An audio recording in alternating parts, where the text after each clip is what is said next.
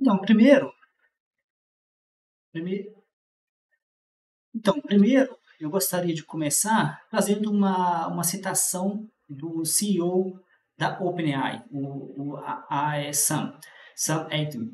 Ele traz para atenção, em uma das suas uma das suas é, entrevistas que o custo da inteligência vai cair drasticamente nos últimos anos. Eu tendo a concordar plenamente com o que ele está falando.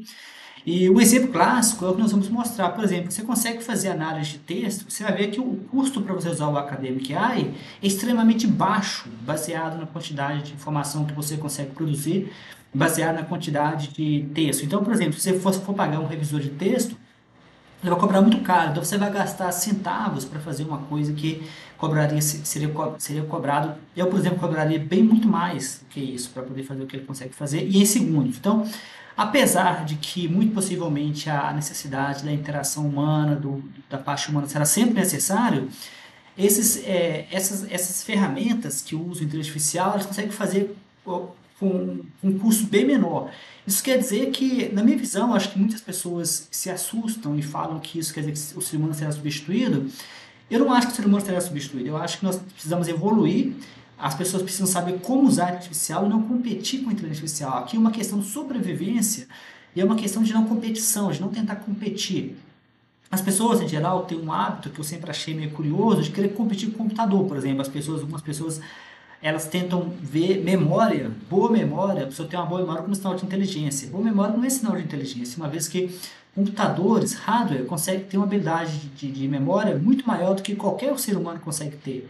Então, usar, por exemplo, a capacidade de ler vários textos ao mesmo tempo, usar a capacidade de analisar vários textos ao mesmo tempo, é, nada disso deve, deve, ser, é, deve ser colocado como inteligência humana. Dizer o seguinte, que a, o, o, significado de ser inteligente vai mudar mais uma vez. Antigamente, você poderia falar que uma pessoa que fizesse computação rápida de cabeça seria muito inteligente.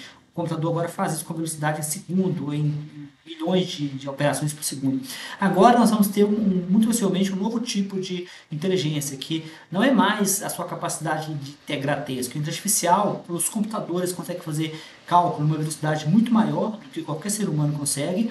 E agora a inteligência artificial muito possivelmente vai conseguir fazer integração e de manipulação de dados, nesse caso textos, uma velocidade muito maior, e não somente de texto, como vocês vão ver, o Chat ele permite que você analise uma planilha de Excel com mais de 10 mil amostras de dados, simplesmente dando comandos. Esse tipo de habilidade, que geralmente cientista da computação, vai está sendo substituída por um, por, por, um modelo que é chamado de, de Code Interpreter. Eu vou deixar para vocês o, o, artigo que eu escrevi e é onde eu explico um pouco mais. Isso, isso, nem, isso nem é específico da parte acadêmica. Por exemplo, eu criei um, um, um um aplicativo artificial, nesse caso veio os modelos, que é o modelo de visão computacional, no qual ele faz classificação de imagens de serpentes.